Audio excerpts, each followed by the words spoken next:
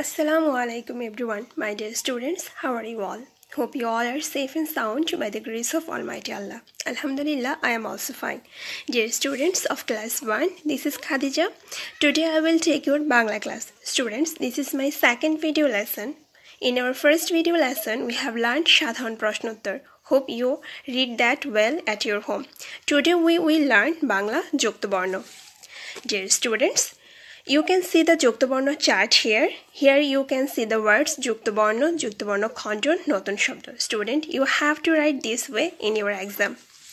So, student, our first যুক্তবর্ণ is ময় পয় সংযুক্ত এই যুক্তবর্ণটি খণ্ডন করলে আমরা পাই ম যোগ প আর এই যুক্তবর্ণটি ব্যবহার করে আমরা শব্দ লিখতে পারি কম্প কম্পন চম্পা ইত্যাদি ডিয়ার স্টুডেন্টস আওয়ার সেকেন্ড যুক্তবর্ণ ইজ ক র্যাফ এই যুক্তবর্ণ খণ্ডন অংশে আমাদের লিখতে হবে র্যাফ যোগ ক। এখানে র্যাফের উচ্চারণ হবে রয়ের মতো। আর এই যুক্তবর্ণটি ব্যবহার করে আমরা শব্দ লিখতে পারি তর্ক, সতর্ক ইত্যাদি। So student then we have জ, জফলা। যুক্তবর্ণ খণ্ডনে আমাদের লিখতে হবে জ যোগ জফলা। এখানে জফলার উচ্চারণ জয়ের মতো। যেমন, সজ্জা, ন্যায্য ইত্যাদি। দেন উই হ্যাভ দ, ধ, সংযুক্ত। এখানে আমরা যুক্তবর্ণ খণ্ডন করে লিখব দ যোগ ধ। শব্দ হবে শুদ্ধ, অশুদ্ধ, রুদ্ধ ইত্যাদি। স্টুডেন্টস আমাদের পরের যুক্তবর্ণটি হচ্ছে প রফলা। সুতরাং যুক্তবর্ণ খণ্ডন অংশে আমরা লিখব প যোগ রফলা। এখানে রফলার উচ্চারণ হবে রয়ের মতো।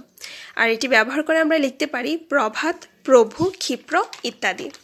স্টুডেন্টস আমাদের ষষ্ঠ যুক্তবর্ণটি হচ্ছে ম, রেফ। এই যুক্তবর্ণটি আমাদের করেফের মতো করেই লিখতে হবে। আর তাই যুক্তবর্ণ খণ্ডন অংশে আমরা লিখব র্যাফ যোগ ম।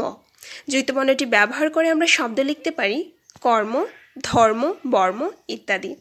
দেন উই হ্যাভ মূর্ধনস্ব ট সংযুক্ত। এই যুক্তবর্ণটি খণ্ডন করে আমরা লিখব মূর্ধনস্ব যোগ ট।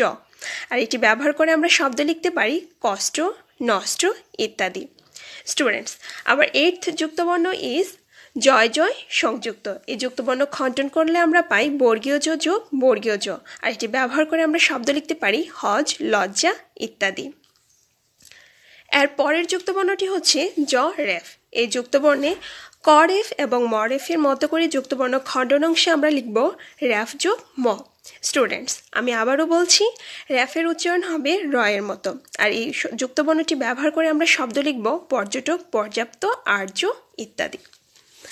স্টুডেন্ট আওয়ার লাস্ট যুক্তবর্ণ ইজ তালব্যস্য, বফলা। এখানে যুক্তবর্ণ খণ্ডন অংশে তাই আমরা লিখব তালব্যস্য যোগ বফলা। এখানে ছোট করে আমাদের বফলা চিহ্নটি লিখতে হবে। আর এই যুক্তবর্ণটি ব্যবহার করে আমরা শব্দ লিখতে পারি বিশ্ব, বিশ্বাস ইত্যাদি। Dear students, that's all from Joktobarno. You have to read this well and practice them by writing. Follow the chart carefully so that you won't make any mistake. Dear students, that's it for today. May Allah bless us all. Allah Hafiz.